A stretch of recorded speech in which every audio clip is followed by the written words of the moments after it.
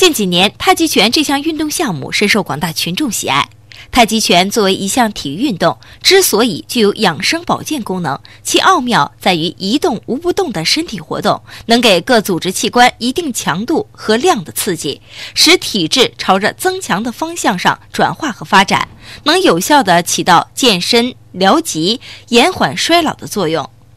近日，我县太极拳协会邀请山东省日照市五莲县大青山风景区的太极教练来我县为太极爱好者传授陈氏太极拳实用拳法。我是去年七月末八月初到山东日照五莲县大青山学习的实用太极拳，也是通过学习过程中也考察一下这个太极拳，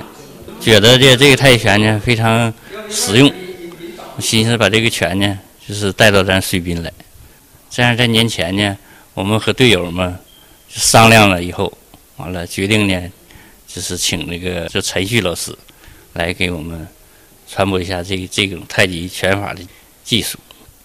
大青山坐落于山东省日照市五莲县，这座由泰山、沂蒙山、崂山三山余脉聚起的高山，如今已成为太极圣地。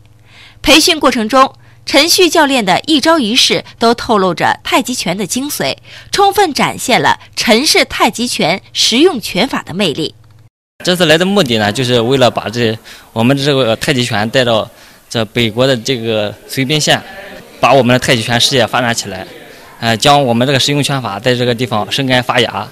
并且壮大，带动全民健身，呃，为我们的健康事业做一些贡献。学习过程中，太极爱好者们以饱满的热情和认真的态度，刻苦训练，基本掌握了陈氏太极拳实用拳法的要领。大家表示，要充分利用此次培训，做好太极拳的普及推广，给更多的人带来健康。